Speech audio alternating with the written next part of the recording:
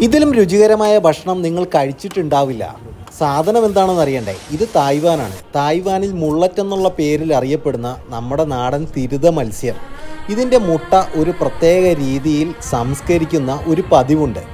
ഈ മുട്ടകളെല്ലാം ശേഖരിച്ച ശേഷം അത് ഒരു നിശ്ചിത തോതിൽ ഉപ്പ് ചേർത്ത് പല ലായനികളിലായി വെയിറ്റ് കയറ്റി വെച്ച് ഉണക്കി അത് പ്രോസസ്സ് ചെയ്ത് എടുക്കുന്ന ഒരു ഭക്ഷണ പദാർത്ഥമാണ്. ഇതേ തിരുതമുട്ട നമ്മൾ മലയാളികളുടെ കൈ കിട്ടിക്കഴിഞ്ഞാൽ എന്താ ചെയ്യേണ്ടതെന്ന് ഞാൻ ഒരു ക്ലാസ് തരാം. അതായത് മുള്ളറ്റ് എന്ന പേരിൽ അറിയപ്പെടുന്ന ഈ തിരുതമുട്ടക്കയിലേക്ക് കുറച്ച് വെളിച്ചെണ്ണ ഒഴിച്ചിട്ടൊരു പാനിൽ കുറച്ച് മഞ്ഞപ്പൊടിയും ചേർത്ത് ചുട്ടെടുക്കുക. ആ ചുട്ടെടുത്തതിലേക്ക് കുറച്ച് തേങ്ങാപ്പാലും ആ തേങ്ങാപ്പാൽ കുറുകി വരുന്നതിനോടൊപ്പം കുറച്ച് വെള്ള കുരുമുളക് പൊടിയും ഇട്ട് ഒന്ന് വഴട്ടി കുറുക്കി എടുത്തിട്ട് മോനെ ഇതൊന്ന് കഴിച്ചു നോക്ക്.